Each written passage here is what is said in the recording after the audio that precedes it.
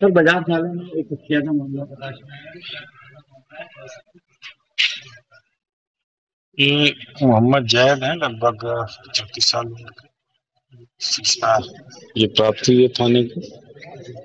इनकी चाकुओं से हमला करके हत्या कर दी गई है। ट्रामा सेंटर इनको भेजा गया था जहाँ ये मृत घोषित कर दिए गए तहरीर प्राप्त हो गई है। हम लोग अभियोग पंजीकृत करके विवेचना कर रहे हैं। और जल्दी इस मामले का खुलासा करेंगे। सर प्रथम दृष्टिया क्या लगता है? अभी बहुत जल्दी है कहना इसमें हमारी तफ्तीश चल रही है और जल्दी इस घटना का हम अनावरण कर रहे हैं।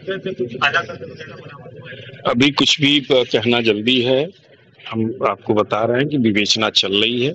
जो भी विवेचना से साक्ष्य आएँगे बहुत जल्दी इस घटना का हम लोग अनावरण कर रहे हैं।